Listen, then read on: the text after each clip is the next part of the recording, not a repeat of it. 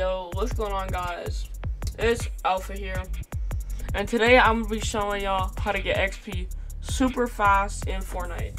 As y'all can see, I am currently level 148. And the season's only been on for like two weeks. Now this means one of two things. I either have no life or I grinded. Probably a bit of both, but still. Today I'm gonna be showing y'all how to get XP super fast. So first of all, let's start off with the basics. Do your challenges. It's so easy. Like, so most of these are just like so easy. I mean, I I didn't get to play much yesterday, so that's why I don't have these done. But still, just play and you'll get it all done like super fast. Not super fast, but still. Um, and second thing, play play, play creative maps.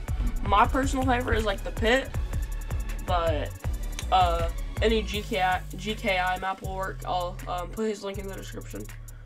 But my links don't work because I have to build channel history. So you'll just have to copy and paste it into uh, your search bar. But anyways, yeah, play creative maps, stuff like that, and get Chestnut XP. Now, uh, there's also another one that like most people don't think about really. It's uh, Save the World. You can, like if you just play Save the World for a while, you can get like a whole bunch of um, XP. It's crazy.